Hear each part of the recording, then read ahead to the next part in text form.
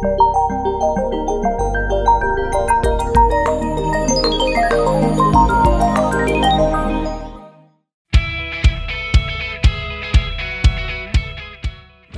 deyirsiniz ki, sabah saat 12-yə kimi Bəli. əskərlər gəlməsə, Gəlməsə nə? mən özümə güllə Bəli, vuracağam, beynimə güllə çapacağam və Bunu mən demişəm 16 may 92-ci ildə, xanım. Xeyr, İlham Əliyev, sən mənim savadımı ölçə bilməzsən. Mən Rusiyadan fil gətirmişəm, belə obraz desək. Dovşan qiymətini almışam. Vələ də mazol getməyibdi, qızım buradan döyənək getməyibdi. Mən Şveçnigir oxşayıram. xoş gördük sizi Rəhim bəy. Xoş gününüz olsun.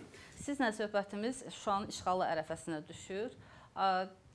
Təbii ki, söhbətdə də Şuşadan başlayacağıq. Müsahibələrinizin birində demisiniz ki, Şuşa ilə bağlı, Laçının işğalı ilə bağlı elə şeylər var ki, hələ də açılmayıb və zamanını gözləyir. Zamanıdırmı o şeylər açılsın, o cinayətlərin üstü açılsın? Xanım, əvvəla o mən lazım olanların hamısını açmışam, demişəm. İkincisi də ki, Şuşanın işğalı və Laçının işğalı məsələsində dövlət həmin dövrdə ölkə başında olanların heç birini niyə bir soru-suala çağırmamısınız? Mən o suallara cavab kifayət qədər vermişəm. Artıq 28 ildir. 28 ildə bəlkə 100 dəfə sizin mənsub olduğunuz Azadlıq radiosunda və digərlərdə və bundan əlavə iki dəfə Şuşa Laçının işğalı üzrə məhkəmə prosesi keçirib. Bir 1994 il 4-cü il 29 iyuldan 12 may 1995-ci il müddətinə qədər 1 il. Şimdi bir ay az da bir ay az. Bir, ondan sonra 2002-ci ilin mayın 25-ə 26-sına bir gün səhv eləyə bilərəm. 2003-cü il dekabrın 26-sına qədər. Hamısı da video ilə keçirilib. Video ilə. Şuşanın işğalına aid 51 cild 11 min səhifəlik ibtidai istintaq materialı var. İki məhkəmə materialı var. Hamısı da YouTube-dadır. Mənə vətənə xəyanət maddəsi verilməyib. Hamı da susur. Mən sizdən suallayıram. Baxmısınızmı o sənədlərə? Məsələn, indi o sənədlərdə Sizcə o məhkəmələr obyektiv araşdırma apardımı? İstintaq, məhkəmə obyektiv oldumu araşdırma zamanı? obyektiv aparmaq olsaydı, aparılmaq olsaydı, Şuşada döyüşən qüvvələrə nazirin əmri olmadan ki, Şuşanı tərk et, Şuşanı tərk edib gedəm, həmin dövrdəki podpolkovnik, briqada komandiri, hərbi akademiya təhsilli Elbrus Orucov, Heydər Əlvin atalıq, analıq qayğısı nəticəsində general mayor və baş nazir, şey, müdafiə naziri mavini olmaz. Əmr verməyən, Şuşanın tərk etməyə haqqında əmri olmayan müdafiə nazirinin isə qiyabı ölüm hökmünə məhkum eləməzdir. Demək müxtəlif video materiallar var həmin illərdə çəkilmiş və orada əskərlər, zabitlər danışır ki, biz e, bizə kömək gəlmədi həmin gün. Biz Bakıdan dəstək gözləyirdik. Biz Müdafiə Nazirliyindən dəstək gözləyirdik, belə dəstək gəlmədi və yerli əhali də bilirdi ki, Şuşa gedəcək. Biz sona qədər döyüşdük, tək qaldıq, köməksiz qaldıq. Bax belə iddialar da səsləndirilir və istəyirəm münasibət bildirəsiniz o dövrdəki nazir O kimi. döyüşlərin hamısının qarşısında baş əyirəm. O döyüşçü o şeyi bilə bilməz. Nə gəldi, nə gəlmədi. Həmin dövrdə Şuşada nə var idi? Şuşanı işğaldan və mühafizləyib müdafiələməkdən Şuşadakı olan qüvvələrdən söhbət gedir və Şuşada olan silah sursətdən söhbət gedir. O əskər onu bilməyə də bilərdi. Amma söhbət bundadır ki, o komandirlər onu bilirdi. O komandirlərin verdiyi müsahibələr var. Cinayət işi materiallarında ifadələr var. Həmin oranı qoyub qaçan komandirin özünün verdiyi ifadə var. İndi onu məcburlayıb da mənim arxamca danışdırırlar. İfadə var. O Şuşaya hücum başlayıbdı 8-nə keçən gecə saat 3 2-3-ün yarısında. Şuşa tamamilə boşaltıb 8-i may axşam saat 5-dən 9-da adamı çıxıb gedib erməni girməmiş. Və bunlar araşdırılmadı. İndi də araşdırılmır. Niyə? Bilirsiniz, mən hər şeyi demişəm, heç, heç kimdən çəkinmirəm, heç kimdən. 29-unda Şuşada olub, mənim yanımda olandan sonra tədbir görməli olan Elbrus Orucov 29-unda Naxçıvanda Heydər Əlvin yanında peyda olur. Niyə? Araşdırılmadı. Yəni siz bir müsahibənizdə demisiniz ki, ə, İlham Əliyevə 2017-ci ildə müraciətinizdə deyirsiniz ki, mən nazir olduğum dövrdə aprelin 20-sindən mitinqlər başlamışdı Bakıda. Heydər Əliyev tərəfdarları da keçirirdilər aksiyalar. Baxmayaraq ki, biz müraciət elədik, hətta E- Etibar Məmmədov da müraciət elədi. O aksiyaları dayandırmadı Heydər Əliyev. E, Bu o deməkdirmi ki, Şuşanın getməsində Heydər Əliyevin də rolu var? Xanım, Şuşanın getməsində həmin dövrdə vəzifəli adamlar, mən heç vaxt məsuliyyəti üstümdən atmamışam. Atmaq da fikrində deyiləm. Amma müharibə aparan ölkə dövlətin bütün gücünü, qüvvəsini toplayır və müharibə aparır bütün resursları ilə. Həmin dövrdə bilmirəm siz çox cavanısınız. Müdafiə naziri 6 ay idi yaranmışdı. Həmin müddətə qədər, 6 ay müddətinə qədər 3 nazir dəyişilmişdi. Rəhmətlik Bərşaddır, Tacəddin Mehdiyev, e, Tahir Əliyev, 3 general. 1991-ci il 18 oktyabr tarixli e, Ayaz Mütəllibovun fərmanı var. Azərbaycan müstəqilliyini elan eləyir. O fərmandan da bir dənə müddəa var ki, Azərbaycanda yerləşən, onda hələ Sovet hökuməti dağılmamışdı. Sovet SSR dağılmamışdı. Ondan 2 ay sonra dekabrda dağıldı. Yerləşən Sovet ordusunun hərbi hissələrinin əmlakı milliləşdirilsin və yenicə yaranmış Müdafiə Nazirliyinə verilsin, o silahlı qüvvələrinə verilsin. Bu tapşırılsın Nazirlər Kabinetinə, baş nazir Həsən Həsənov və onun birinci onun müavinlərinə. Barmaq barmağa vurulmayıbdı. Mən müdafiə naziri təyin olmuşam 18 və 17 mart 1992-ci ildə. 18-də fəaliyyətə başlamışam.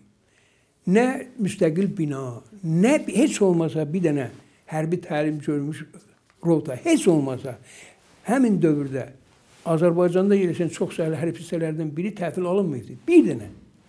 Bakı o vaxtki hər ali komandanlar məktəbi rəisi, o vaxtki polkovnik, sonra biz ona general verdik, Kabalyov. Öz təşəbbüsü ilə gətirib onu təhvil verib. Bir də Enzeys o Qaraşəhər hissəsində bir e, motor atıcı alay vardı.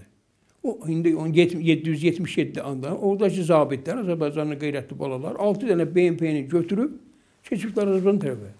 Bir də o işıq e, çimərliyinə gedən yolda bir Beybət məscidi var. Onun aşağısında də tamamilə dərbə dağılıb, dağılmış, sahibsiz bir hərbi kazarma. Ondan başqa heç nə təhvil alınmayıb. Və bu müddətdə də siyasi polemikalar qızışıb, ölkə eş, e, eşqə düşübdü prezident seçkilərinə. Xahiş edirəm arxivə girin. 22, 23, 24, 25 mart ayında. E, Şeydə Milli Məclisdə prezident seçkilərinin keçirilməsi istiqamətində polemikalar gedir. Debatlar gedir. Mən orada iki təhlif vermişəm. Arxivdə durur. Birinci, ay qardaşlar, biz müharibə gedə-gedə bu seçkiyə getsək, sonra ərazi itirəcəyik. Müdafiə Nazirinin adı var, özü yoxdur. Hamımız yumruq, mən iki tə, bir təhlif, birinci təhlif. Mən istəyirəm ki, və mənim bu təhlifim səsə qoyulsun. Azərbaycan onda biz həmin parlamentdə o indi də ürək istədiyi vaxt plastilin də bizim konstitusiyanın kim öz xoşuna nə tərcih elə ədib düzəldi. Amma onda da e, referenduma ehtiyac yox idi. Həmin parlamentin özündə biz müvafiq maddələrə razılığa gəldiyimiz dəyişiklik eləyə bilirdik. Gəlin belə eləyək. Dövlət Şurası yaradaq. Həmin Dövlət Şurasına Heydər Əliyev, İsa Qəmbər, Əbülfəz bəy, həmin dövlət bütün ortada olan o cümlədən də Ayaz Mütəllibov daxil olsun hamımız Dövlət Şurasında o məsuliyyəti çiynimizə alaq, bütün qüvvələrimizi səfərbər eləyək. Bir il, bir illik, iki illik təyin edək, özümüzün qaldı. Amma siz də bilirsiniz ki, o dövrdə Ayaz Mütəllibovun əvvəlki etimadı yox idi. Xocalı hadisələrindən sonra ə, onun getməyini istəyirdilər. Niyə? Bəs o burada şəhər batmışdı. Şəhər əhali- niyə batmışdı? Niyə indi heç onu araşdırmırlar? Bəli, orada ermənilərin qanunsuz əməlləri oldu. Amma biz niyə onun qarşısını ala bilmədik? Niyə? Sizcə niyə? Ona görə ki, Hacibətində mübarizə gedirdi. Siz dediniz hələ Mübarizəni kim aparırdı? kim indiyə kimi prezidentlik uğrunda mübarizə aparıbdı? Heydər Əliyev, Ayaz Mütəllibov, cəbhəçilər, bu hakimiyyətlə mübarizə apardı. Dövlət hökumət qalmış. Bir dəfə indi deyirlər Rəhim Qaziyev çevriliş eləmək istəyirdi. Rəhim Qaziyev xəstədir. Yaxşı, siz indi gəldiniz bura, məni bura dəvət elədi.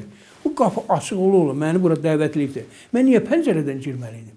Hansı niyə o prezident seçkilərinə start veriləndə mənim onda reytinqim olan hamısından üstün idi. Mən niyə sənəd vermədim?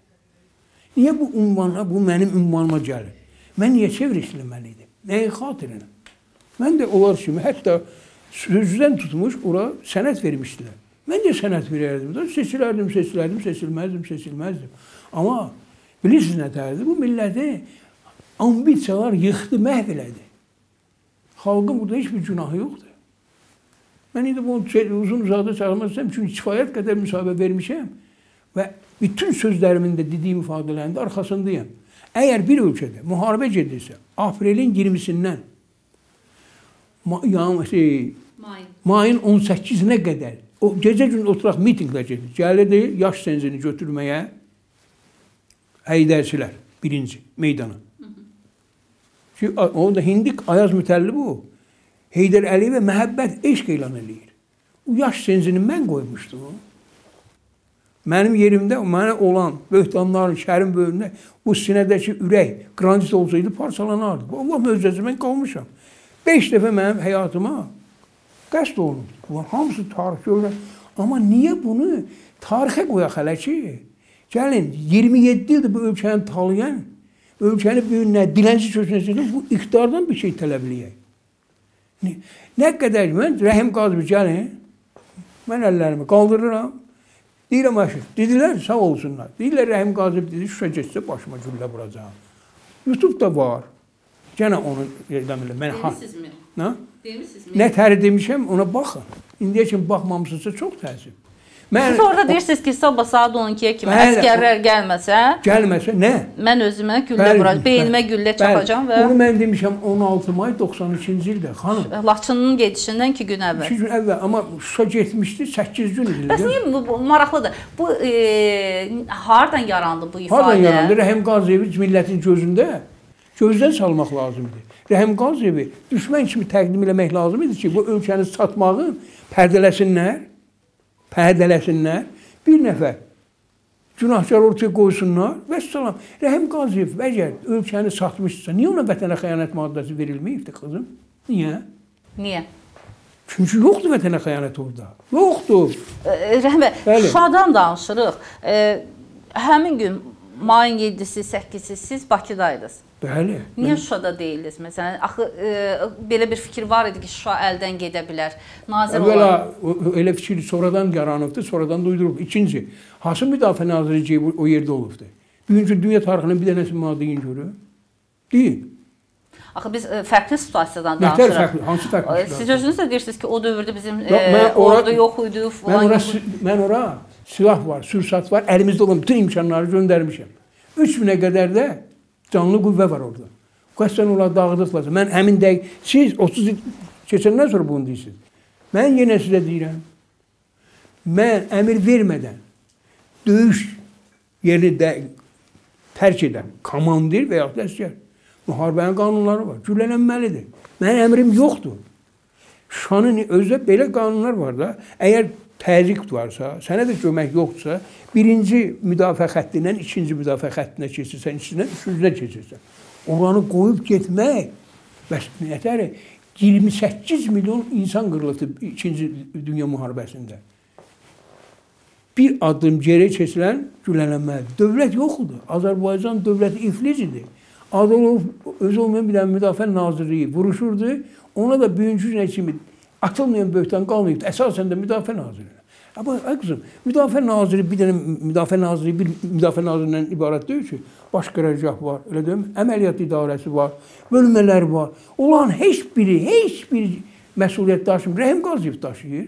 Bəli, Rəhim Qaziyev daşıyırdı ki, Rəhim Qaziyev əmr verərdi ki, Şuşanın vəllasını tərk edin. O da olardı ortada. Bunlar indi niyə Rəhim Qaziyevi həmin dövrdən bugünkü kimi xəyanət gedir? O xəyanətin də baş eləyənlər günləri e, bu rejimin başında oturublar. Və salam, Rəhim Qaziyev, mən Rəhim Qaziyev dəfələrlə dedim. Bircə dənə detal. Ayın birində, mayın birində mən Şuşaya göndərmişəm. E, şey, sapyorlar deyirlər də ona. Həmin sapyorlar gedin Şuşa ətrafında, Şuşaya giriş yollarının, minaların vəziyyətini yoxlayın. Daşdamir Məmmədov, bir də Kluskov. Biri mayor, biri kapitan. Bunlar gediblər. Orada birinci 777-ci hərbi hissənin o dövrdəki komandiri Elçi Məmmədov deyib ki, ehtiyac yoxdur. Hər şey qaydasındadır. Belə demirlər. İkinci, ora getmiş artıq bir 10 günə yaxın Şuşada olan briqada komandiri Elbrus Orucov. Həmin deyilənlərin ifadəsindən. Yəni bu nömrəsi də hamısıdır. Lazımdır biz indi bu yaxında hücuma hazır. Həmin dövrdə biz hücuma hazırlaşmırdıq. Elbrus Orucov deyir ki, mən ora gedəndə istehkamçı mühəndislər gəlmişdi, həmin o sapyorlar dediyimiz. Mən onlardan soruşdum ki, minalanmış ərazinin vəziyyəti nətərdir? Dedilər ki, hər şey qaydasındadır. Hərbiçi akademiya təhsil olan belə soruşmur. Deyir, formulanı qoy qabağına. Yəni kart olur. O kartada hansı üsulla o minaların bastırılması. Çünki sabah biz oradan hücuma keçəndə o minalar çıxarılmalıdır. O ona formulyar deyirlər. Soruş ancaq ifadənin ikinci məhkəmədə deyib mən ondan soruşdum. Mən də dedim bax o Kuşkovu da o Daşdamir Mamedovu da gətirin. Bu da Elbrus Soruzov üzləşdirək. Üzləşdirilmədi. Mənə Elbrus Soruzov o 7-si mayda zəng eləyir ki, mənə qabaqlayıcı zərbə üçün əmr ver, icazə ver. Ermənilər hücuma hazırlaşır. Dedim, bu təxribat ola bilər. Elbur sorusu. İndi həmin gün İranda Rəfsəncaninin təşəbbüsü ilə o dövrdəki e, danışıqlar gedir. Danışıqlar gedir. Sülh Petrosyan və Yaqub Yaqub Məmmədov. Bəli. Şimdi bunu bax təxribat olar, bu danışığı pozmaqdan ötürü. Sən götür, dəqiqləşdir, əcəklərsə bütün səlahiyyət sənə verilir. Rabitəmiz də həddindən artıq pis işdir. Bilirsiniz, onda yoxdur heç nəyimiz. 777-ci hərbi hissənin o dədəki e, qərargah rəisi, Hindi milli qəhrəman Rövşən Əhbərov deyir ki, bizə dedi ki, Rəhim Qaziyev zəngli gedirəm onunla danışmağa. Məhkəmədə sual verirəm ki, Rövşən Əhbərov, sən özün mənim səsimi eşitdin? Deyir, yox, o dedi. Deyir, Rəhim Qaziyev deyir ki, sabah OBS-yə nümayəndələri gələcək, atəş açmayın. Bu uydurulmadır canım. Mən demişəm. Siz də döyüş mövqeyindəsiniz və komandirsiniz. Tamamilə situasiya dəyişib. Döyüş nizamnaməsində var. Vəziyyət dəyişəndə və şey, baş qərargahla əlaqə saxlanmayanda yerli komandir səlahiyyəti özünə götürüb və vəziyyətə görə əmrlər verir. Bir dənə əmr yoxdur. Bir dənə. Mən bunlar uşaq deyiləm axı. Mən onu mənim kimi o işi oxuyan olmayıbdı. 51 cild 11 min səhifədir. Heç kim oxumayıbdı. Kəlmə-kəlmə oxumuşam. Çünki mənim həyatım yox, xalqımızın tarixi də orada. Niyə bunlar açılmır? Mən dedim ki, ey dahi müdürih rəhbər, hələ ikincidə, birincidə də, ikincidə də, məni qaçırıldım ay qızım. KKB-nin 6-cı mərtəbəsində mən Şvetsiyaya görə oxşayıram. 6-cı mərtəbədə mən qaça bilərdim. Bunların heç bir açılmır axı. Və mən əsəbləşməyim, nə edeyim? Niyə qaçırmışdılar geri gəlmişkən? Öldürməyə. Xeyr. Həmin dövrdə məhkəmə gedirdi. 94-cü ilin dedim də iyulun 29-da başlamışdı. Nə deyirdilər? Onlar elə bildilər ki, mən elə məhkəmədə qışqıracam. Hə, mən Rəhim Qaziyev, məni niyə tutmusunuz? Hardan deyir? Deyirdim filan səhifə, filan cild aç. Oxu filan kəsin ifadəsi, filan kəsin ifadəsi. Bunlar ağlına gəlmirdi ki, vələ də mazol getməyibdi, qızım buradan döyənək getməyibdi. 6 ümumi dəftər mən cinayət işi materiallarından çıxarış elədim. Hamısı. Mən ağlım itmir, mən ali təhsilim var. Bu mən ziyalıyam mən. Mənə ittiham verirlər. Nəslimə, əslimə ləkə vururlar. Sizə o birlər zamanla mən sizin heç birinizi qınamıram. Rəhim Qaziyevi adam yeyən kimi təqdim eləyibdilər. Xaindir. Mənə vətənə xəyanət maddəsi verilməyibdi. Ay ümumi millidir, utanmırsan. İnsan da yalan danışar. Sən səviyyədə olan yalandır. Şuşanı satdı. Vaxtınız video var. E? Özdə elə təqdim eləyir ki, Azərbaycanın gözü, çiçəyi. Bəs mən Şuşanı satmışamsa, hanı mətənə qənaət maddəsi? Rəhim bəy, e, e, müsahibələrinizin birində də demisiniz ki, həmin gün mən e, Şuşaya getmək istirdim mayın 8-də, amma gedə bilmədim. Niyə gedə bilmədim? Gedə bilmədim ona görə ki, yoldaşlar gəldi ki, biz gedirik. Kim idi o adamlar? Demişəm onu dəfələrlə. Həvəsim yoxdur deməyə. Biz gedirik, sən bizə silah sursat göndər. Mən də ən Etibar böyük Məmmədov idi onun biri. biri o idi, bir də Tahir Əliyev. Siz özünüz e, getsəydiniz, orada olsaydınız həmin gün, sizcə hadisələrin axarı dəyişə bilərdimi? Mən o çağırışlar eləyib olandı. Mən cə- əlimdə silah cəbhə bölgələrində olub, oradan gəlmiş nazirəm. Mən kabinet naziri olmamışam. Mən yenə deyirəm, onun son nəticəsini sizə deyə bilməzdim. Gedərdim, ya ölərdim, ya da o məsələ başqa cür həll olunardı. Şuşadan sonra Laçını qorumaq mümkün idimi sizcə? İmkan qalırdımı ona? Deyirsiniz, ay qızım, oxuyun görün orada nə qədər silah sursat göndərir. Heç biri işləməyibdi. Heç biri. Axır müdafiə naziri özdə o vaxt bizim heç nəyimiz yox idi. Mən bazardan gəlib ət, noxud almırdım. Ət, noxud almırdım. Heç silah sursat o dövlət Azərbaycanın heç bir dövlətinə, heç bir dövlətinə silah sursat almaq müqaviləsi yox idi. Mən onlar baya məni ittiham eləsəydilər ki, Rəhim Qaziyev həmin dövrdə vətənini, torpağını müdafiələməkdənsə qeyri-qanuni yollarla tank alıb, top alıb, silah alıb, sursat alıb, içərimdə qaldı, bəli, eləmişəm. Çünki mən müdafiə naziri idim. Mən onu eləməli idim. Rusiyadan alırdınız. Hardan alırdım? Var, cinayət içində var. Nə, siz siyahları həmişə göstərirsiniz. Yox, ki, burada gətirmişəm. milyonluq e, bunlara. Götürəsiz, cinayət, bilirsən, Heydər Əliyev mənə ən böyük yaxşılığı bilirsiniz nədir? Mən həmin dövr elədiklərim hamısını sənəd eləyib cinayət işinə çıxdı.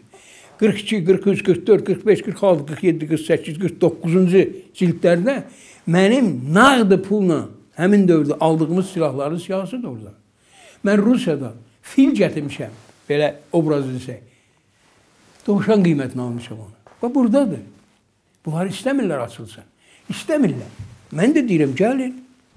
Amma Rəhim bəy, çox vaxt belə təəssürat yaradırlar ki, o dövrdə Azərbaycanın silahı sursatı yox idi. Bir yandan da Rusiyanın təzyiqləri var idi və buna görə də müharibədə Azərbaycan torpaqlarının bir hissəsini itirdi. Xeyr. Bax, nə qədər mənim üstümə ağır ittihamlar da olsa, həmin dövrdə Şuşada, Laçında xəyanət olmasın, işgal olanmazdı. Mən yenə deyirəm. Bax, bunu bir dəfəlik bilin. Hamı bilsin. Namusu, vicdanı. Bu torpaq üçün yanan insanlar bilsin. Biz nə erməni, nə rusu duzmamışıq. Biz içərimizdən, içərimizdə salan şərəfsizlərin xəyanətinin qurbanı olmuşuq. Həmin dünənki e, inşaat batalyonlarında vuruşan şey, iş, e, xidmət ilə Azərbaycanlı balaları qısa müddətdə canavara döndülər. Dağlıq Qarabağın ümumi ərazisinin 52%-ni azad elədilər. Ağdərəni azad elədilər. 88-ci ilin sentyabrından bağlanmış Tərtər Kəlbəcər yolunu açdılar. Murovdan işləyirdilər. Həmin oğullar Laçının şimalından Kəlbəcər tərəfdən 53, Qubaqlı tərəfdən 14 kəndi aldı, 67 kəndi yaşayış mərkəzini azad elədilər. Dəhliz, Dəhliz daraldı, daraldı. Həmin dövrdən xəyanət başladı. Mən bu siz Bu xəyanət yenə daxildən idi. bəs Rəhim bəy. nədəri? Bəs kim idi? Kim Mənim adımdan xəyanətkar? prezident aparatından mənim xəbərim olmadan əmir gedici Rəhim deyibdi ki, e, hücum saxlanılsın. 51 cild 11 min səhifəlik cinayət işi var qızım. Elçi bəy hakimiyyəti dövründə. Ölçmət hakimiyyəti dövründə də olubdu. Heydər Əliyev də oradan ayın 92-ci il oktyabrın ayın 14-ü 30 arası tamamilə Qarabağı boşaldırdı. Allah şahiddir buna. İnsanlar şahiddir. O əməliyyatı elə pozdular ki, mən dəhşətə gəldim. Yalvarırlar, avtobus verin biz çıxaq. Mən Rəhim o dolu sözünü yandırar. O qeyrətli balaların qanı canı hesabına alınıb deyil torpaqlar. Rəhim yox. Gəlin biraz dəqiqləşdirək. Bəy hakimiyyət dövründə Ağdərə əməliyyatı oldu. Bir neçə ərazilər bayaq saydınız 67 Hələ ərazi. Elçi bəyin dövrü. Gün- şey, 12-sindən 13-ünə keçən gecə iyunda hələ bəy seçilmişdi, amma prezident kimi oturmamışdı. Ə, İsa Qəmbər idarə edirdi. Şu də, Qəmbər idarə edirdi. Amma həmin dövrdə o əməliyyat əvvəldən hazırlanırdı və həyata da keçirildi. Gədəbəydən baş yerdən azad olundu. Azərbaycanın 164 il təpiyə altına əzən Rus ordusunu hörmətlə silah sursatını alıb yola saldı. Ay qızım, mən sənədləri aylarla sizə burada danışmaq fikrim yoxdur. Açın baxın. Bu tarixdir. Biz alıb getmişik Zəngəzur Zəngilanda briqada Firidun Şabanov 93-cü dekabrın 18-də alıb Yorusun üstündə ən əh- əhəmiyyətli strateji yüksəkliyi. Oradan qoy artilleriyanı. Bu 92-ci ildə Bəli, bəli. Yoruz, qafan, meqri. Vur dağır. Biz e, e, Əbülfəz bəylə getmişik dostluq görüşünə rəsmi Ukraynaya. Zəncilanın icra başçısı Telman adlı. Kürd əsilli. Gəlibdi Şabanovun yanına. Firidun Şabanov indi sağdır. Axtarın tapın. Gəlib. Neyniyib? Deyib, əmir gəlibdi ki, oranı boşaldın. Biz həmin yüksəkliyi alanda bir dənə içki verməmişik. Bir dənə. Amma nə oldu? Oradan komanda gəlib, bu da Firidun Şabanov biraz ayıqlıq eləməydi. Götürüb gələk Zəngili idi. Mən Kiyevdəyəm, amma Müdafiə Nazirliyinin baş qərargahı, əməliyyat idarəsində belə bir əmr varmı? Çıxanda oradan da ermənilərə veriblər ki, çıxırlar. Biz onda 6 BMP 30 nəfərdə canlı qüvvə itirdik. Özümüz yüksəklikdən düşəndə. İçəridə olan xəyanəti vaxtında bilmək, onu üzə çıxartmaq çox çətindir. Evin içində xəyanət varsa, o qədər də sadə məsələ deyil. Əgər mən biznesmen, bankir olsaydı, təbii mən deyərdim ki, mənim puluma, nə bilim, bankimə qəsd olar. Sənin, mənim, hamımızın ortaq namusu olan torpaq. Xəyanət. Bir də var ki, bəli, mən doğrudan Əbülfəz bəyin komandası ilə Əbülfəz bəy Haşim bəy gələr ki, biz mən bunlarla işləmək istəmirəm. Amma işlədiniz. İşlədim. Mən Xalq bazarında satıcı deyildim ki, otomat çıxırdım mən. Ərizə vermişəm. 3 dənə ərizəm var mənim. Dedim mən bunlarla işləmək istəmirəm. Onlar da məni istəmirdilər. Əbülfəz bəy dedi, yox, ordu çıxır. Onun tək başına mən eləmişdim ordunun çıxması protokollarını. Ordu çıxır, yox. Amma nə oldu? Komanda indi görürük də, komanda belədir. Gəlibdilər, mənlə işləmək istəmirlər. Mən də təhsilimə salmışam. Hünəriniz var, mənlə işləməyin. Ölkədə onda mən böyük gün açaram. Hansı məqamda başa düşdünüz ki, artıq müharibə uduzulub? Hələ ki müharibə uduzulmayıbdı. Biz müvəqqəti məğlubiyyətə uğramışıq. Əgər biz sabah Yəni tam səmimi belə düşünürsüz ki, qələbə Bəli, şansı bəli. qalır. Mən çünki bizim o qeyrətli balalarımızın 6 ay hələ əlində təzəcə silah tutan oğulların qeyrətinə bələdəm. O şəhidlər xiyabanında yatan o şəhidlərin qarşısında bizim can borcumuz var. Bəli. Amma bi- 11 aprel əməliyyatı biraz fərqli mənzərə yaradır. Niyə? Niyə? Ay, ay qızım sən niyə bu qədər bəsit düşünürsən? 11 ö- ö- şey nədir? 16-cı il aprel əməliyyatında Azərbaycan xalqı möhtəşəmliyini göstərdi. Bircə gündə, bircə saatda bütün inciklər yox oldu. Hamı qalxdı ayağa. Hamı. Bax o indi bu günləri iqtidara zada müxalif olan qüvvələr hamı bəyanat verir ki, biz gedirik.